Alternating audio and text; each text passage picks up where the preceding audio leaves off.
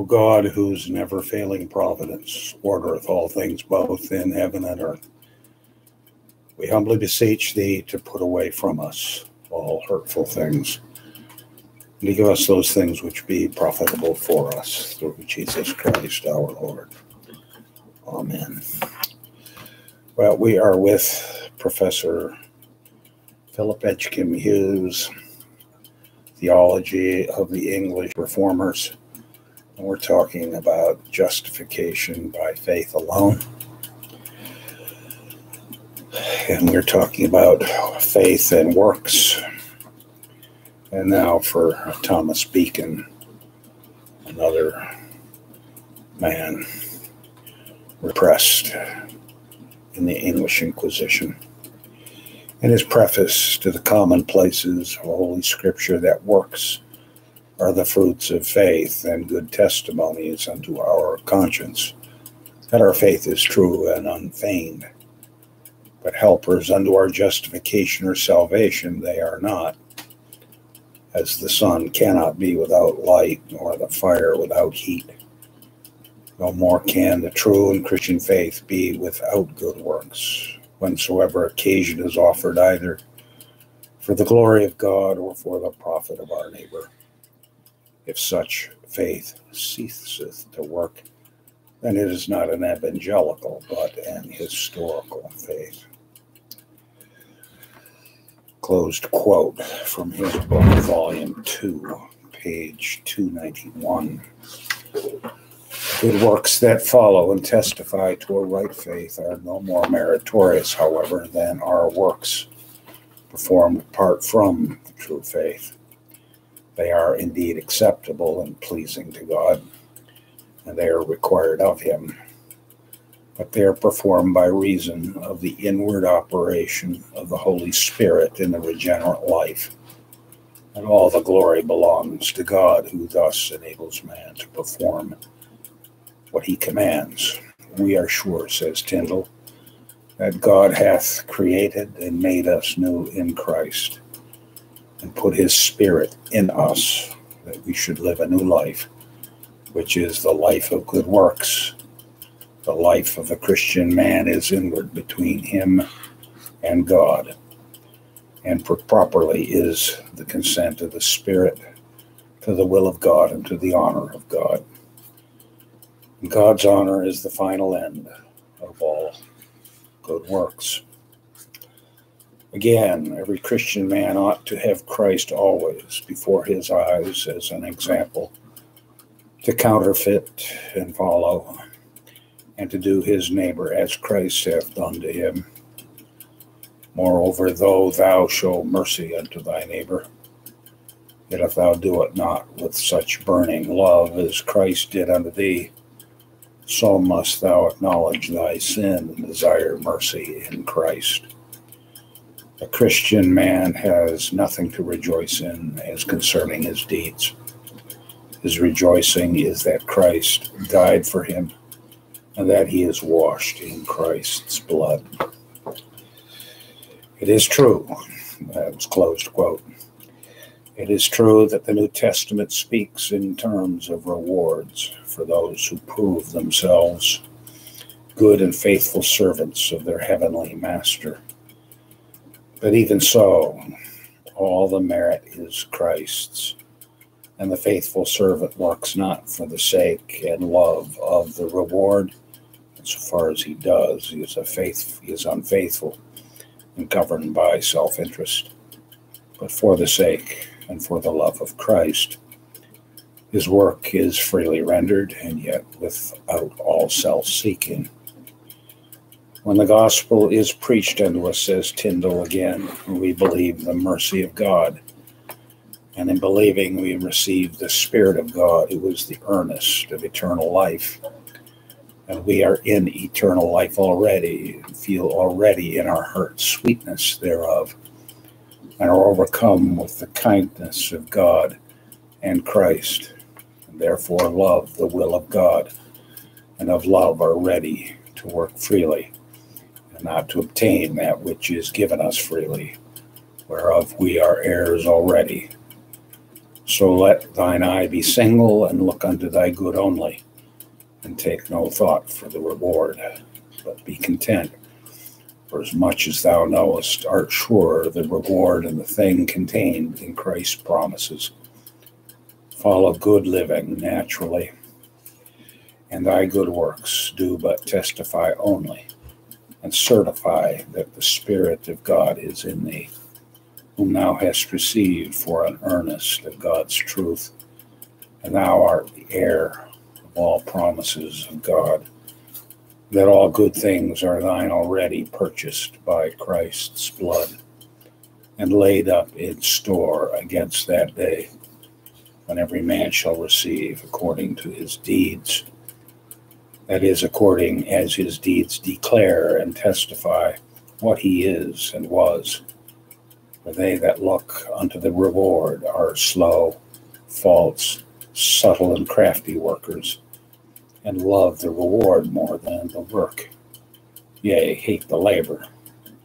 Yea, hate God who commandeth the labor, and are weary both of the commandment and also of the commander, and work with tediousness but he that worketh of pure love without seeking reward worketh truly.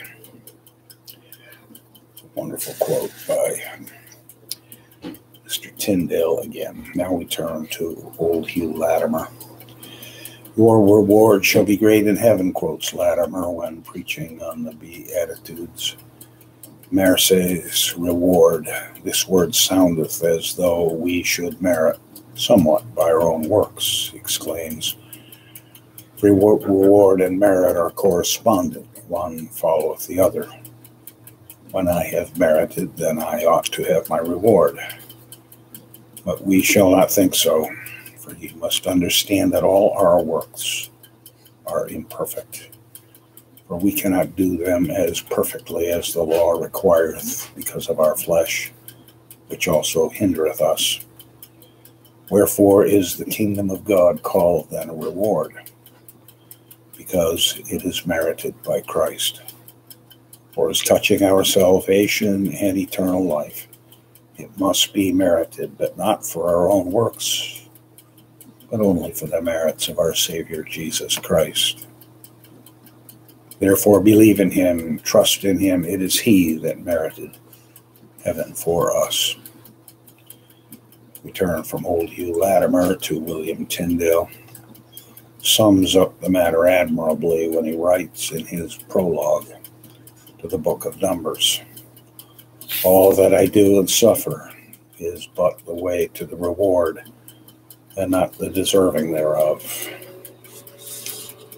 Again, Christ is Lord over all, and whatsoever any man will have of God, he must have it freely given him for Christ's sake. Now to have heaven for mine own deserving is mine own praise and not Christ's. For I cannot have it by favor and grace in Christ and by my merits also. For free giving and deserving cannot stand together. Now we turn to works and merits. The controversy over works and merit in the 16th century was, it must be remembered, a controversy with the question of man's justification.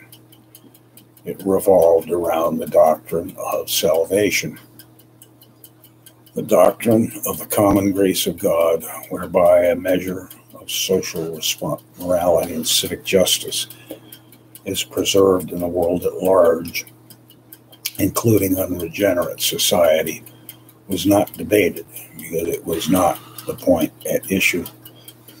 the reformers were not unfamiliar with the doctrine of common grace, as is shown. For the example, the assertion by Bradford that the wicked have not God's spirit of sanctification and regeneration to sanctify and regenerate them, though they have it concerning other gifts. The strictures of Articles 12, 13, and 14 are not to, intended to de- deny the degrees of goodness in the social civic realms. but to deny that good works are ever meritorious in such a way as to deserve the justification of a sinful man before God. Article 17, which relates to those works that are performed subsequently to salvation, declares, albeit that good works which are the fruits of faith and follow after justification cannot put away our sins and endure the severity of God's judgment. Yet they are pleasing and acceptable to God in Christ and do spring out necessarily from a true and lively faith, insomuch that by them a lively faith may be as evidently known as a tree discerned by the fruit. The scope of Article 13 is defined by the title of works before justification. Works done before the grace Christ and the inspiration of His Spirit, it says, are not pleasant to God for as much as they spring not of faith in Jesus Christ. Neither do they make men meet to receive grace, or, as the school authors say, deserve grace of congruity. Yea, rather, for that they are not done as God hath willed and commanded them to be done. We doubt not, but they have the nature of sin. And Article 14 addresses itself to the assumption that there is a possibility of doing more than what God requires, with the corollary of the establishment of a bank of surplus merit, which may be drawn upon at large by those whose words works fall short in performance. Voluntary works, it reads, besides and over the God's commandments which they call works of supererogation, cannot be taught without arrogancy and impiety. For by them men do declare that they do not only render unto God as much as they are bound to, but that they do more for his sake than of bounden duty is required. Whereas Christ saith plainly, When you've done all that you've commanded, say, We are unprofitable servants. Pilkington explains that although God do work all th- that although God do work all things himself, and as he hath appointed, so they fall out. Yet he worketh them not without us. We must not be idle. We must show our diligence and obedience to God, that he hath made us and commanded us to exercise ourselves in these things. And yet, when all we have done we can, all praise must be given to Him. We must say we are unprofitable servants. We be as an axe in the carpenter's hand, he continues. For the axe may not claim the praise of well doing from his master that worketh with it. Though the axe be a dead instrument without life or feeling, and man hath life, wit, and reason given to him to do withal. Yet is man unable to work his own salvation without free mercy and special grace of God as an axe is unable to build the house without the direction and ruling of the carpenter. And Bradford, switching from Pilkington to Bradford, preaches as follows as concerning satisfaction by their opera indebita undue works, that is, by such works as they need not to do, but of their own voluntariness and wilfulness. Wilfulness indeed, who seeth not monstrous abomination, and blasphemy, and even open fighting against God. For if satisfaction can be done by man, then Christ dies in vain for him that so satisfieth, and so reigneth he in vain. So is he a bishop and a priest in vain. God's law requireth love to God with all our heart, soul, power, might, and strength.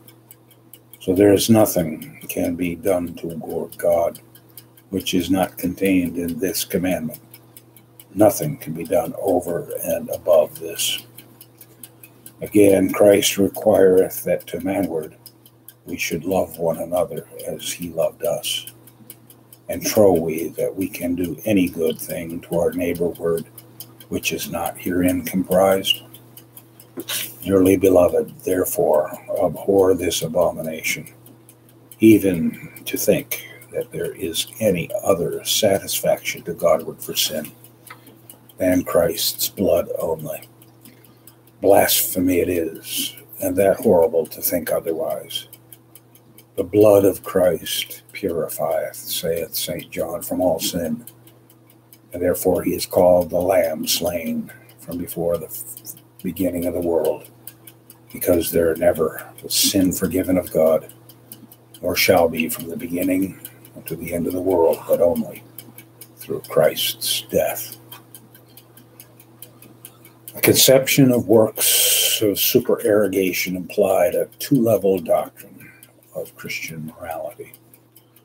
Such supererogatory works belong not to the sphere of ordinary man or woman, but to the small super Christian minority who, by voluntary, voluntarily living as solitary hermits or monastic communities, by voluntarily submitting themselves to the rule of poverty, chastity, and obedience, and by voluntarily afflicting their bodies with painful indignities, regarded as having achieved a holiness beyond what was required of them.